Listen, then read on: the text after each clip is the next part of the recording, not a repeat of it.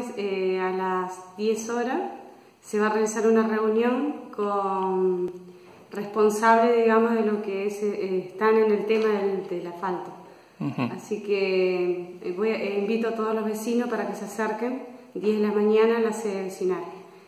que traten de, venir porque así este, se pueden enterar cuánto es el costo del asfalto, cuánto es lo que, o sea, el plan de pago cómo va a ser y, ver todo este tema, ¿no? Que está, todo, muchos quieren poner el asfalto, entonces por ahí que se presenten para, este, para acordarlo. Conocer, digamos, cómo, cómo es, cómo va a ser el pago, si va a haber un préstamo, creo que va a haber un préstamo del banco, cuál es el interés, digamos, y ver los temas, ¿no? Bien, ¿están las calles definidas, las que serían asfaltadas?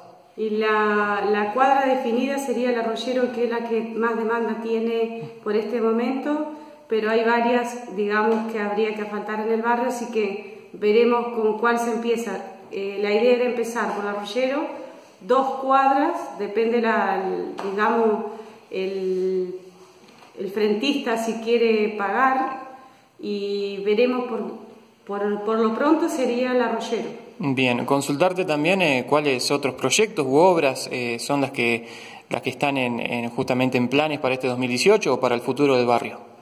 Y en este momento tenemos, o sea, ya se está trabajando con el baño para los discapacitados porque hay un baño amplio en el barrio. Eh, o sea, tenemos dos baños y uno se adaptaría para discapacitados porque pasa que hay talleres y mucha gente que está discapacitada quiere quiere aprovechar el taller y no puede porque no tiene lugar, eh, digamos, el baño. ¿no? Aquí en la sede. Aquí en la sede. Otro de los proyectos, bueno, que todavía están en marcha es la plaza, que todavía no tenemos novedades sobre eso. Eh, ya los planos están hechos, está presentado el proyecto, pero no tenemos novedades.